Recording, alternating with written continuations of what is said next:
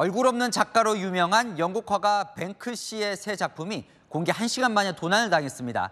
이 백두 대낮에 복면을 한 남성들이 작품을 훔쳐 달아나는 모습이 지나가던 행인 휴대폰에 그대로 담겼습니다. 김정근 기자입니다.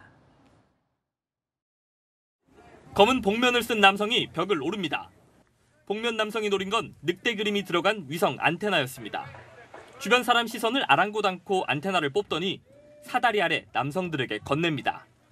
이들은 옥상에서 안테나를 떼어낸 뒤 차를 타고 달아났습니다. It's probably about 90 seconds before they're out of sight. They are pretty efficient guys.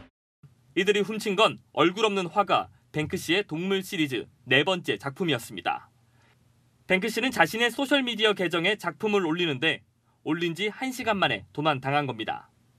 뱅크시는 이번 주 들어 매일 한 작품씩 영국 런던의 동물 벽화를 남기고 있습니다. 지금까지 염소와 코끼리, 원숭이와 늑대를 그렸습니다. 다만 작품 설명을 따로 하지 않아 해석의 여지를 남기고 있습니다. 최근 영국에서 논란이 된 극우 폭도들을 비유한 거라는 반응도 나옵니다.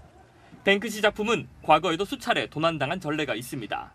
지난해 12월에도 영국 런던의 한 거리에 설치된 표지판 작품이 도둑들의 표적이 됐습니다. 이번 절도 사건에 대해 뱅크시는 특별한 입장을 내놓지 않았습니다. 채널A 뉴스 김정근입니다.